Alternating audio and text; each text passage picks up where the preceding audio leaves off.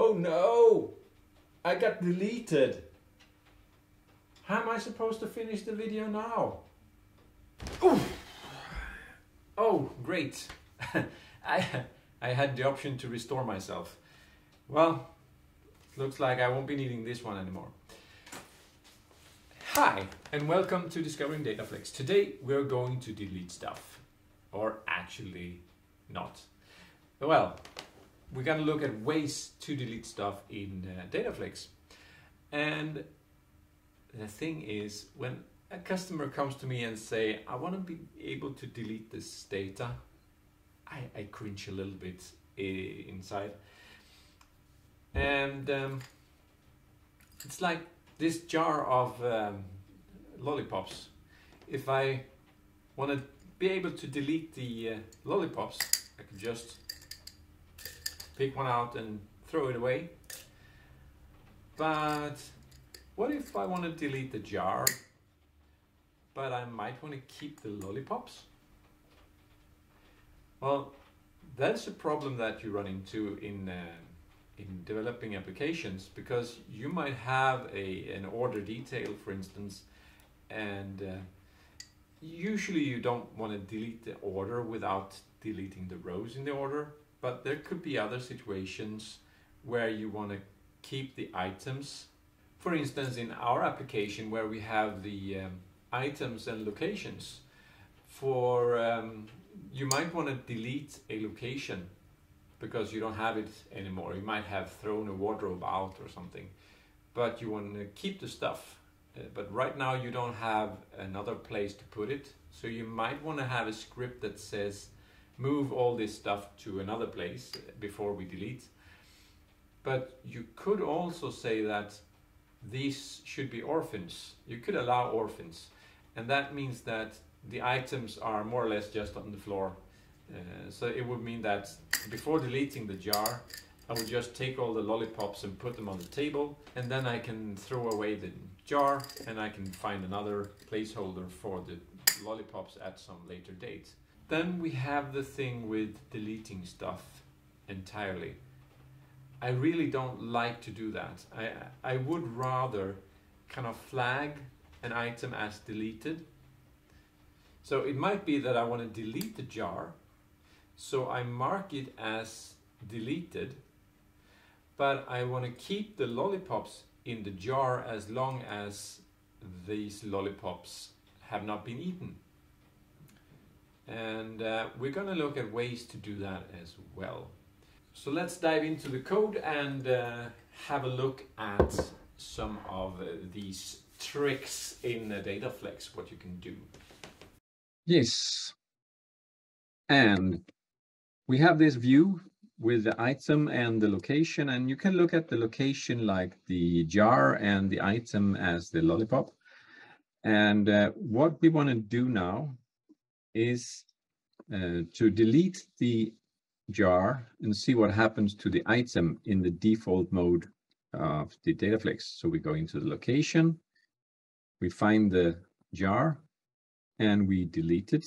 And it says that we cannot delete the file uh, item or the location because it demands an item.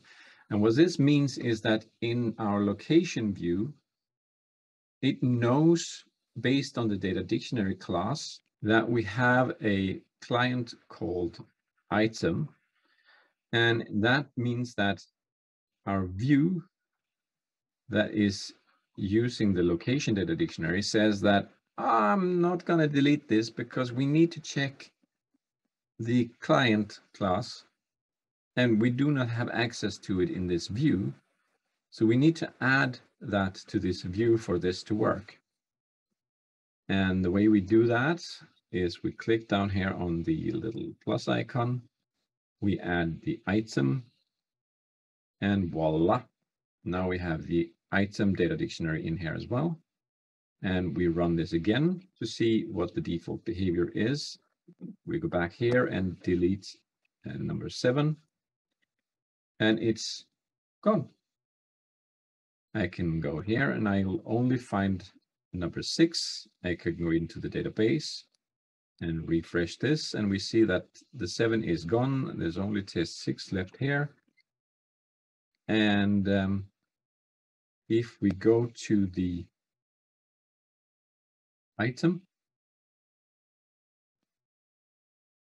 I'm going to look for item one and I don't see it either because it has also been deleted.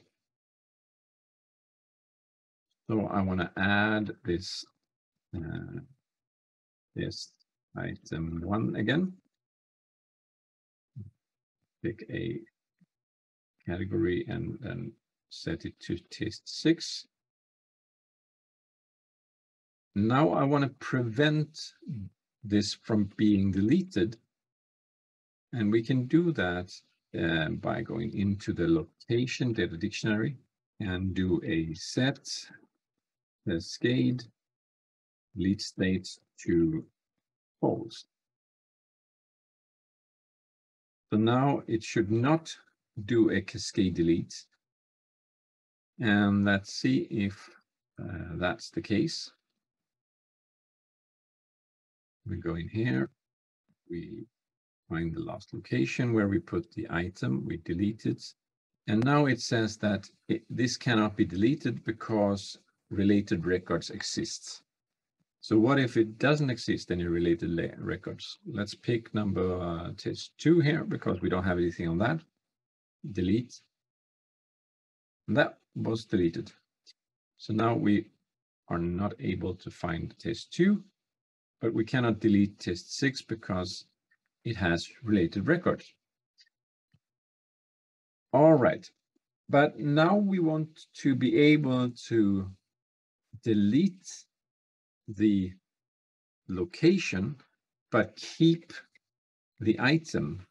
So how do we go about doing that? We want to start by setting this one to true, which is the default value, but I'm just going to keep it in the code for reference. And I want to show you a small other thing because you can actually set uh, cascade delete allowed and point it to the uh, location file number to false.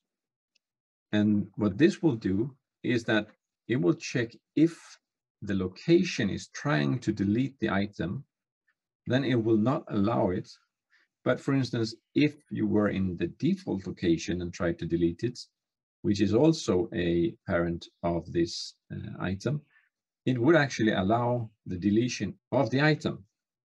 So this can be a uh, really nice tool to decide where and who and what may delete the item.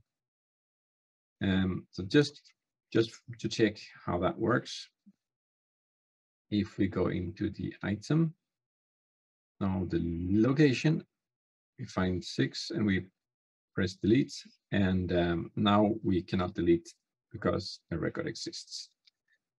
So fine again. We want this to be true. So how do we delete the location without deleting the item? Well, you can do a set uh, parent null allowed and reference it to the location and set that to true. But that is not all you have to do. You also have to say that you're allowed to do a cascade delete that creates this null because otherwise this one will only allow you to save or create an item with a null reference.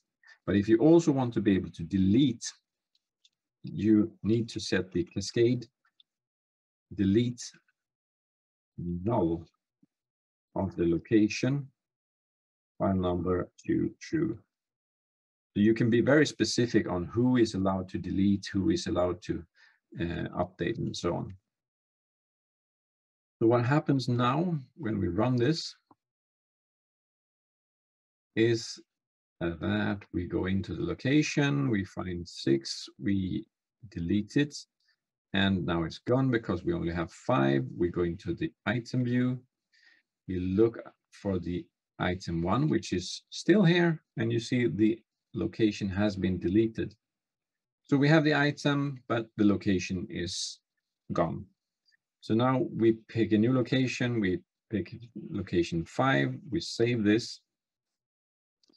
And in this case, what we want to do is we want to delete the location, but we want to keep it so that we can show it in this view, but we don't want anyone to be able to select it in this list, for instance.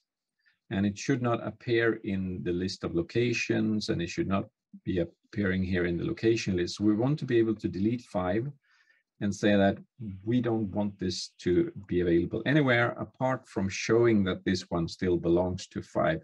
It could be that we haven't moved this, but we have canceled the location, but we still want to keep it.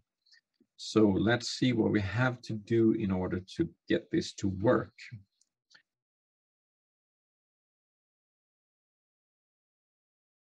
In here, um, we want to set a procedure,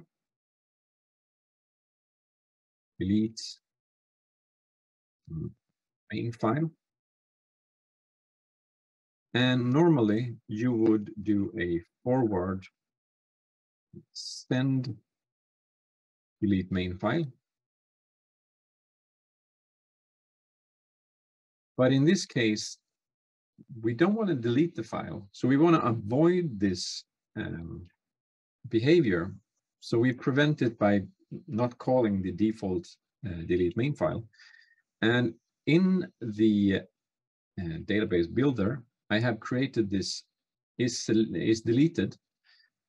And if that is zero, which is the default one, it's not deleted. If it's set to one, then it is deleted. So what I want to do instead here is I want to move one to the location dot is deleted. And then I want to do a save record location. And also notice that I'm working on the global buffer here because I'm inside the data dictionary. And I cannot be inside the data dictionary in these kind of procedures without the data dictionary, the data dictionary knowing what data is in the global buffer. So when you're in here, that you you can almost always expect that the database is locked and you know which data you're working on. So that's kind of a, a way to think about it. Um, and um, with this, uh, we also want to make sure that we do not set this one referencing the uh, delete the, the location to zero. So we want to do a similar um, procedure. Save main file. And again, we want to prevent the default behavior of save main file. Let's save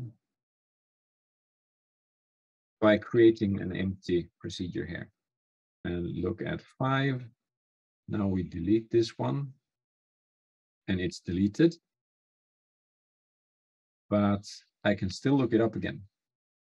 And if I go to the item, I can find item one and it has the five and I can look up the five. So nothing's changed. How are we going to do this? Well, at least we know uh, that the five is deleted and uh, we can do a constrain.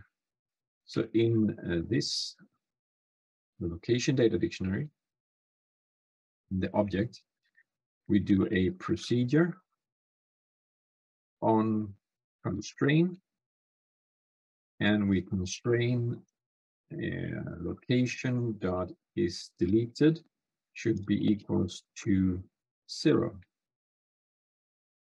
That means that we only show items that has the value zero in our location view.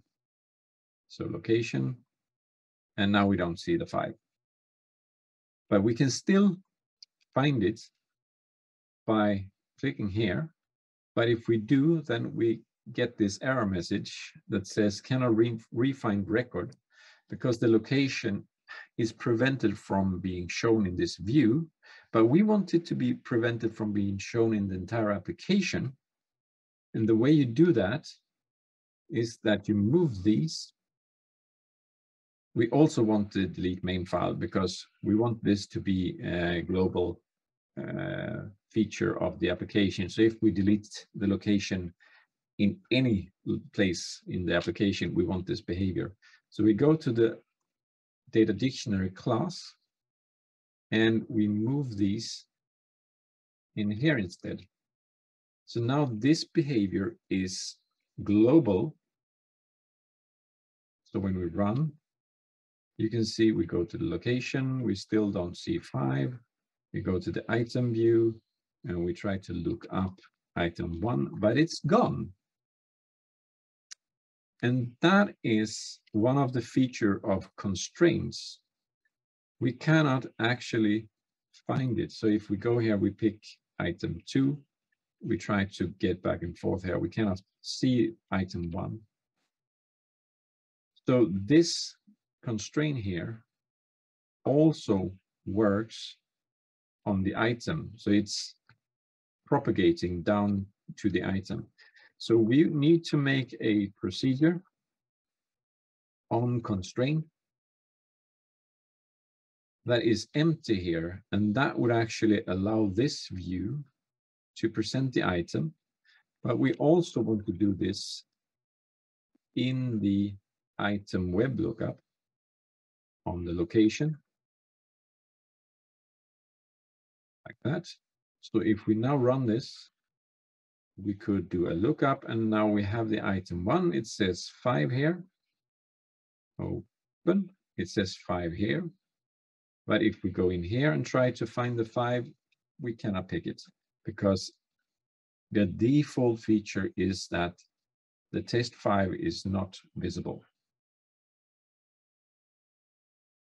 So we cannot pick it. But if we are here, it can still show it. And that's really nice uh, feature to have. I hope that was useful and um, that you like this video. And um, until next time, I think I'm gonna have a lollipop. See you then. Bye bye.